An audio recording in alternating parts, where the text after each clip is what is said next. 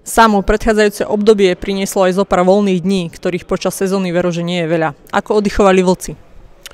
No, tak myslím si, že to tu bolo v takej vianočnej atmosfére.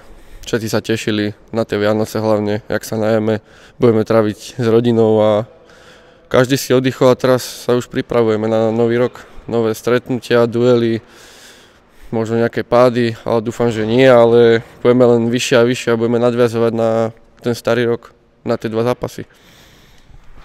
Poďme práve k tým posledným uh, dvom zápasom ešte na chvíľočku.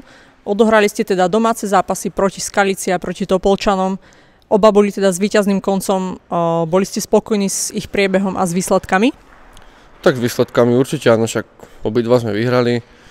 A myslím si, že to mal náboj, to, čo diváci chcú vidieť, si myslím a výsledky, hovorím, boli dobré.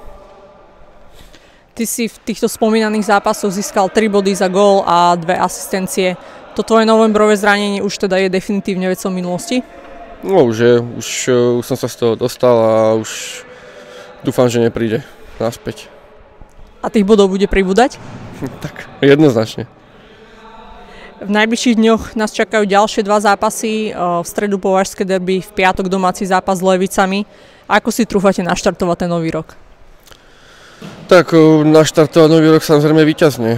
Sa dostať do nejakej tej vlny, dvíhali sme dva zápasy, nejak tú šnúru tých výťazstiev už predlžiť. Nie, že dva zápasy vyhráme a potom zase prehráme už nejakých 5-6 zápasov vyhrať v rade, aby sme si spravili pohodu pred tým playoff.